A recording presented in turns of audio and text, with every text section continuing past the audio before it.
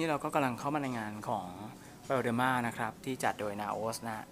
ก็คือบริษัทเจ้าของแบรนด์เลย ก็วันนี้ก็จะมีการเปิดตัว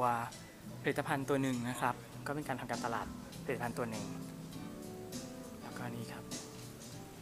ข้างในก็โล่งครับ จัดได้สบายดีแล้วก็มีเคาน์เตอร์ของ Product หลาย ๆ ตัวนะฮะ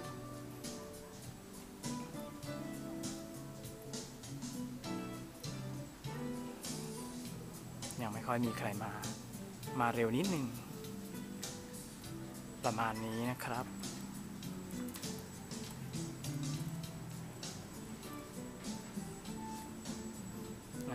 แล้วก็มีเวทีเเดี๋ยวเราก็คงจะได้มีกิจกรรมกันอยู่แถวๆนี้แหละนะครับ อยู่ที่ Oriental Residence ถนนวิทยุนะฮะก็บรรยากาศดีเลยทีเดียว